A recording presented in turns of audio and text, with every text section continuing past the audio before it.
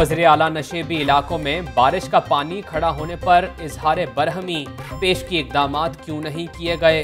उस्मान बुजदार ने रिपोर्ट तलब कर ली। बासा हुकाम को फौरी नकासी आप का हुक्म दे दिया।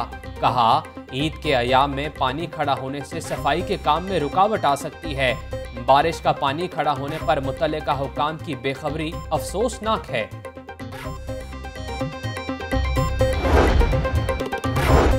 शहर को डूबने से बचाने के लिए वासा के दावों की कलई खुल गई। बारिश के बाद शिमाली लाहौर का फारूकगंज अंडरपास डूब गया। छः फुट तक पानी जमा हो गया। फारूकगंज के इलाके का रास्ता मुलतता हो गया। बादामी बाग से बरास्ता फारूकगंज रोड आने वालों का एक मोरिया पुल से रबता टूट गया। बच्चों के लिए अंडरपास में गंदे पानी का स्विमिंग पूल बन गया।